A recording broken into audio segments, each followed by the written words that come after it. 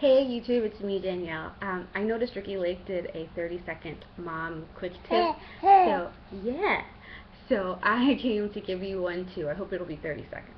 Okay, so you know how babies are always scratching at themselves, um, and when they're a newborn, you're scared to cut their nails, so you get those little mittens.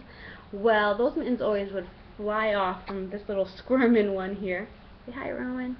So what we did, we used his little socks, they stay on, because I guess, I don't know, maybe they have more elastic or something.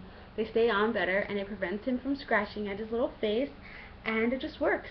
So repurpose your socks if your little guy is scratching and you're scared of cutting his nails. Or her nails. okay, bye.